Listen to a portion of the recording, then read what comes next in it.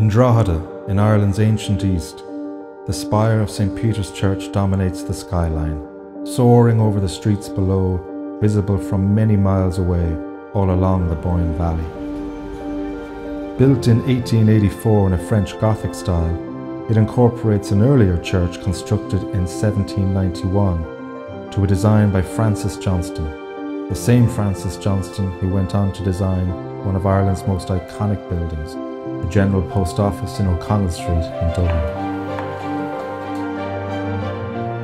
It is very unusual to have a church from this era in the centre of any town in Ireland, given that the penal laws and hostility from the Church of Ireland minority meant that Catholic churches of the era were usually to be found outside town walls or in back streets.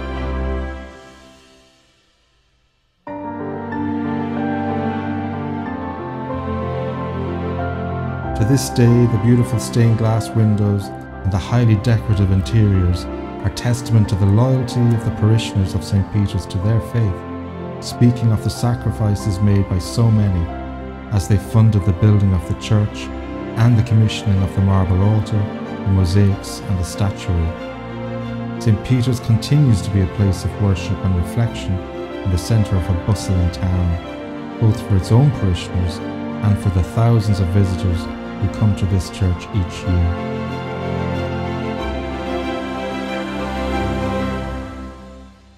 But it's not only the beauty of St. Peter's that attracts such numbers. Housed in a special shrine are the relics of St. Oliver Plunkett, who was executed in England in 1681. As Archbishop of Armagh and Primate of all Ireland, he was to fall victim to the anti-Catholicism of the English state and after a show trial in London, he was hung, drawn and quartered at Tyburn Hill. His relics were brought back to Drogheda in the 1920s when he was beatified. When he was canonised in 1975, St Oliver Plunkett became the first new Irish saint for nearly 700 years. St Peter's is a special church, welcoming you into an oasis of peace and tranquility. It remains at the beating heart of Drogheda, gently unfolding history within its arches, its candles, and its rituals.